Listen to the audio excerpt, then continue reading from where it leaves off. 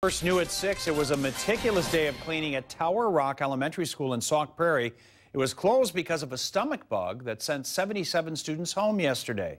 NBC 15 Sharon Yu shows us what the district is doing to sanitize the school before Monday. Several people showed up to school even before sunrise, not to learn, but to clean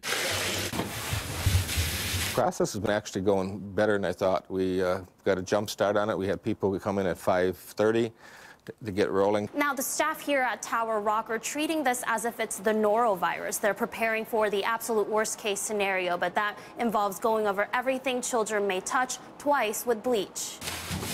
A busy day for Len Brzezinski and his cleaning crew, but after sending about one third of the student body home on Thursday, the school made a decision never made before. And we wanted everyone to be informed of the information.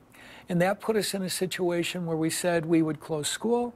We made that announcement. A sick day per se for the school, so each nook and cranny can be cleaned. That means everything from faucets to gym floors to desks, anywhere little hands may go. We're doing some of this twice to make sure that we've got those, the key spots taken care of.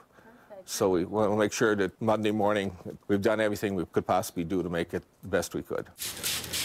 An empty classroom may be an eerie sight at Tower Rock for a Friday afternoon, but this is mandatory if they want to see full classrooms again next week. When we did collaborate and have a professional conversation with Sauk County Health Services, we determined that that would be the most appropriate thing to do, and this would be our response. And Thompson says you can do your part as well. Because it's related to um, stomach illness, that if the children are showing any symptoms that are related to that type of distress, that we would ask them to care for their children at home, and then again, we welcome them back when school begins again.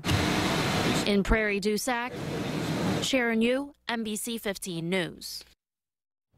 Uh, Thompson says they're still waiting to get lab results on what exactly the bug is. They're going to hear from Sauk County Health Services on Tuesday.